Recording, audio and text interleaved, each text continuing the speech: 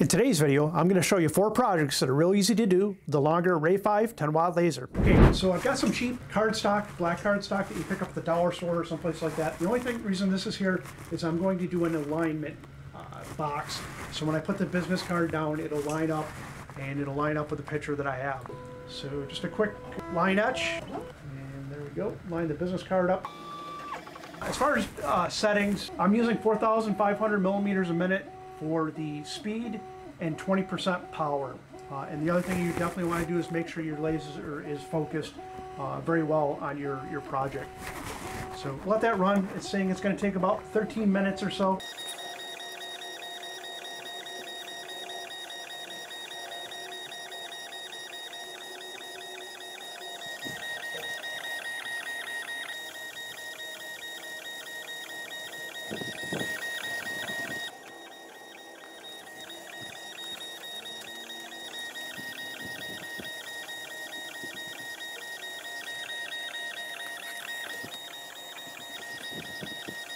And that's what we have. Pretty cool. Okay, another project very similar to the other is just using a stainless steel business card. Again, I'll have links to these down below. Gonna put the card stock down the same way we did for the other so we can get our alignment. We'll do the frame out. Start the project. This is basically just going to be some text on the card so you could do, in essence, business cards or some other text. And we're going to kick it off. This is going to be a lot slower uh, to actually get the engrave on a, a, stainless steel card that isn't anodized. Uh, you have to go a little bit higher power and slower. So for this, I'm doing 500 uh, millimeters a minute for speed and 75% power.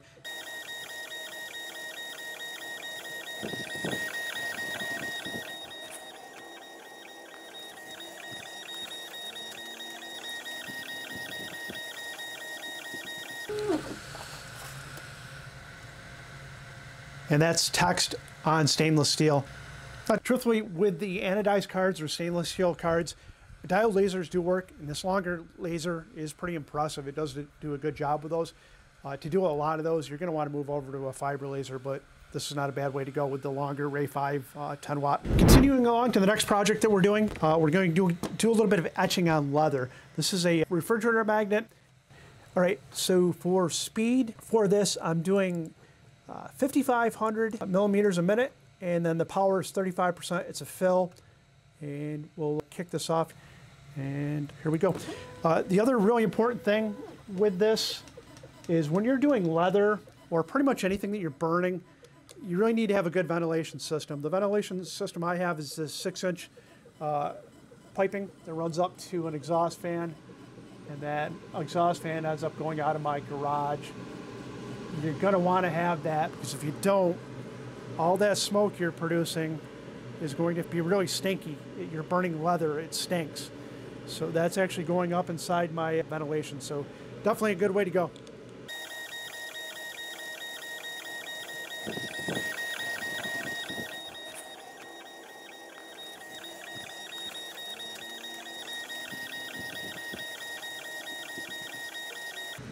And that's lasering on leather.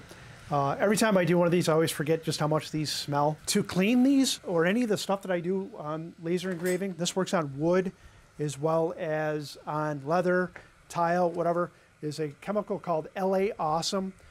And I use just a magic eraser sponge or melamine wipe, and you just spray a little bit on it. And wipe down what you have.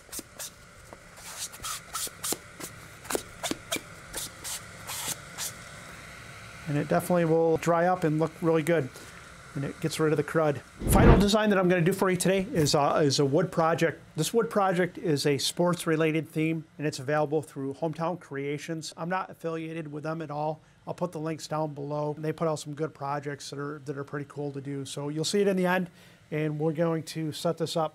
So I've already got the wood laid out, three millimeter Baltic birch and I just want to frame it one last time, make sure we're, we're lined up with what we need to do. I'm scaling this down to about six inches. You could scale it up, scale it down. Uh, I'm just going to do something small and quick to show you what uh, this longer Ray 5 10 is capable of doing. As I said, it's a cut out of the wood and it's also an etch. Uh, usually when you do this, you want to do your etching first rather than do your cut first, because if you do your cut first, it could drop down, it'll set off your focus and, and create issues. So do your etches first and your cut second, and we should be good to go. Gonna get our ventilation fan on because we're burning wood and we don't want to breathe that in.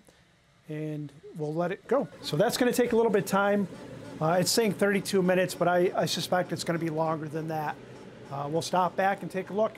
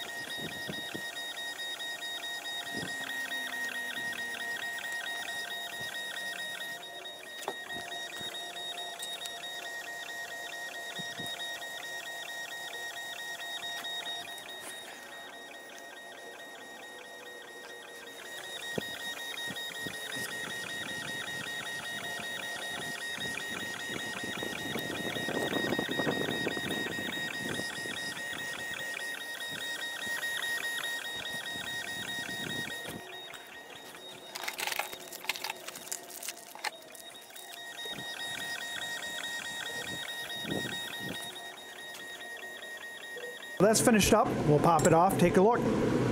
Nice little multi-layer. And again, like I said, to clean up the char on these, just a little bit of that LA Awesome cleaner. This stuff is really good. When that dries up, it'll look really good. These are four of the projects you can do on the longer Ray 5 10 watt laser. Go ahead and check out some of the links to the video above and have a great day.